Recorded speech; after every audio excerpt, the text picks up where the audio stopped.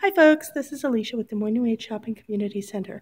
I'm going to do a quick unboxing video of our beginner beginning crystal kit. Um, this is something I've gotten a lot of call for over the years and I've always steered people in the direction of about four to six stones. Um, I'm going to make it permanent and do six stones though. So first one, of course, obsidian or Apache tear. This repels anything negative that's coming your way, any negative energy, anything like that. And that's something you really need in the beginning on your journey with any sort of metaphysical stuff. White selenite, energy flush, energy clear. And what this is going to do, it's going to flush out you and your stones. Never needs cleared, never needs charged.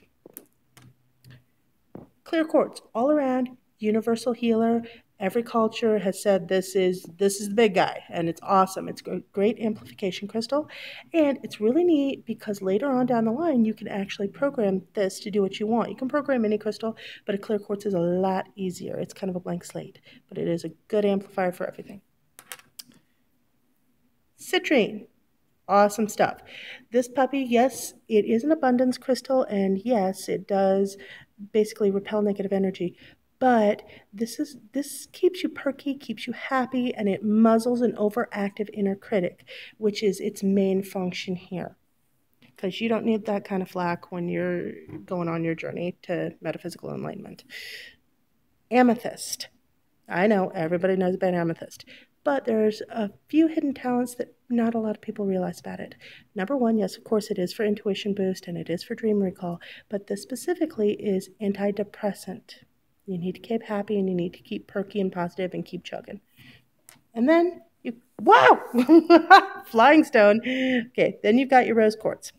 Rose quartz is a lot of different things. It's good for self love, it's good for self care, but here it's good for emotional baggage jettison. And we all have baggage, whether it takes a forklift, a burro, or a tiny leprechaun. We all got baggage. That's what we got in common. So that is our beginning crystal kit and it comes in a nice bag. And once the printer unsticks their printing stuff and gets our booklets printed, it'll have a nice booklet too. So that's all for now, folks. Thanks and toodles!